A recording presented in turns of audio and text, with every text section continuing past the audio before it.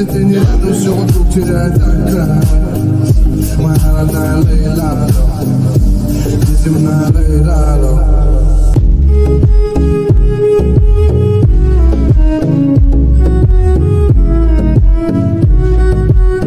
ये लड़का बहुत ही मेहनत कर रहा है